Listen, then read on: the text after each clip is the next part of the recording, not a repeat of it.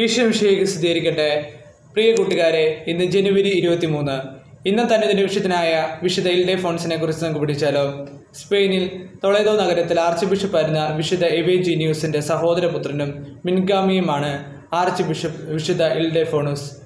പിതാവിന്റെ എതിർപ്പ് അവഗണിച്ച് വിശുദ്ധ ഇൽഡേ ഫോണൂസ് ആംഗ്ലി ആശ്രമത്തിൽ ചേർന്നു. ഒരു സന്യാസി സന്യാസിയായിരിക്കുമ്പോൾ തന്നെ കന്യാസ്ത്രീകൾക്കായി ഒരു മഠം സ്ഥാപിക്കുവാൻ അദ്ദേഹത്തിന് കഴിഞ്ഞു. തൊളോദോയിൽ അഞ്ഞൂറ്റി അമ്പത്തി മൂന്നിലും അറുന്നൂറ്റി അമ്പത്തഞ്ചിലും നടത്തിയ സ്നേഹദോസിൽ ആംഗ്ലി ആശ്രമത്തിന്റെ അബട്ടായി ഒപ്പിട്ടിരിക്കുന്നതും വിശുദ്ധ ഇൽഡെഫോണസ് തന്നെയാണ്.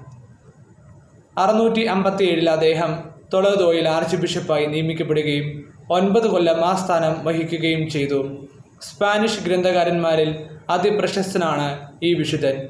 കന്യാമറിയത്തിന്റെ നിത്യകന്യാത്വത്തെ പറ്റിയുള്ള അദ്ദേഹത്തിന്റെ പ്രതിപാദനം എത്രയും വിശിഷ്ടമാണ്. ദൈവമാതാവ് അദ്ദേഹത്തെ ഈ ലോകത്തിൽ വെച്ച് അനുഗ്രഹിച്ചതായി പല സംഭവങ്ങൾ ജീവിതപ്രകാരമായി വിവരിക്കുന്നുണ്ട്.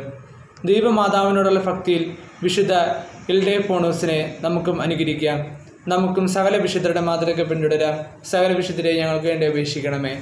ആമേൻ. Thank you Jesus.